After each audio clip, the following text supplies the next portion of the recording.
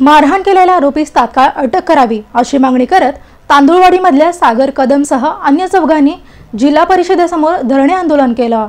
रस्त्याच्या कारणावरून माढा तालुक्यातील कदम यांच्या भावकीमध्ये वाद होऊन मारहाण झाली आहे. त्यामध्ये सागर सोमनाथ कदम कुटुंबियांना नागनाथ कदमसह अकरा जणांनी जबर मारहाण करून गंभीर जखमी केला आहे. याबाबत पोलिसांमध्ये गुन्हा दाखल झाला आहे. मात्र पोलीस दुटप्पी भूमिका घेत असून अद्याप या प्रकरणातील आरोपीस अटक करण्यात आली नाही. म्हणून सागर कदम आपल्या कुटुंबियांसमवेत आरोपींना अटक करण्याची मागणी करत जिल्हाधिकारी कार्यालयासमोर बेमुदत धरणं आंदोलन सुरू केलंय. मारहाण केलेल्या आरोपीला अटक होईपर्यंत धरणं आंदोलन असंच चालू राहणार असल्याचं सागर कदम यांनी सांगितलं. माझं नाव सागर कदम.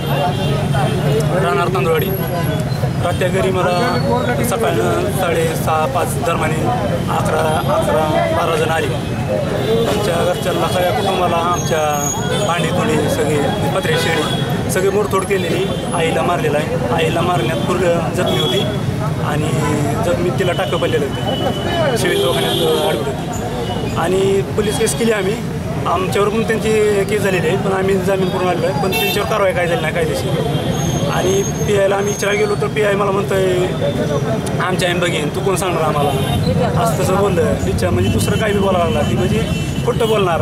खोटं बोलतं दबाव आम्हाला राजकीय पुढे कोण दबाव घ्या हे असं सांगतं मग परत आम्हाला फराळ म्हणून सांगतं आरोपी.